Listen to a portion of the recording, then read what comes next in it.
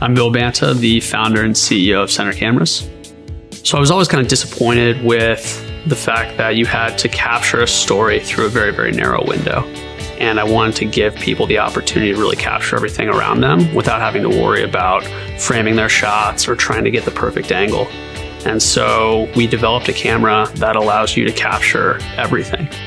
So, in its simplest form, 360 video works by taking video streams from independent cameras and we run that through our software and we stitch each of those videos together to create one seamless 360 degree image. And what we've done is we've taken all of that technology and packed it into a really awesome little device.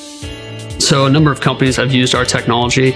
We've worked with the US Army building real time wireless 360 degree cameras. We've worked with ESPN and Fox Sports.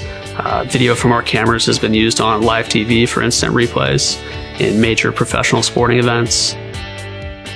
People have lived with the limitation that someone's behind the camera and someone's in front of the camera. And with a CENTR Cam, everyone is in frame, everyone is in the video, and everyone gets to participate and be a part of that memory.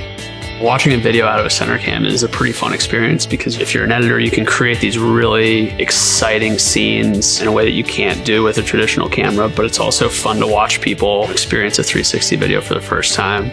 I remember the first time I showed my little cousin, Evie, she's nine, she watched the same video 16 times in a row. I counted.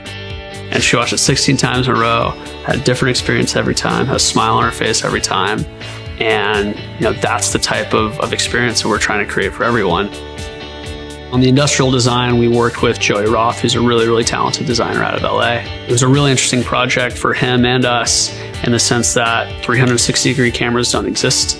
So we ran into a lot of challenges from a usability perspective. We had to come up with creative ways that allowed people to hold the device without blocking one of the cameras with their hands. So that was why we ended up with this really, really interesting circular shaped device with a hole in the middle. One of the other things that we thought a lot about was creating a device that was, you know, beautiful and elegant, but at the same time very durable and reliable. I think we've got a great set of rewards lined up for our Kickstarter contributors. At some of the lower price points, we've got some great swag like t-shirts. We've got 360 degree prints of imagery shot with CENTR Cam, like the print you see behind me. We also have an opportunity for people to get a, a CENTR Cam for over $100 off MSRP, which is a really fantastic opportunity to get a CENTR Cam in their hands. So if we don't reach our Kickstarter goal, CENTR Cam never comes to life. And I think one of the most important things for us is to really get this camera into the hands of, of a lot of different types of people. Know, we believe that people are going to do new and exciting things with center cam that we can't even imagine today. And without the support of the Kickstarter community, that dream will never come true.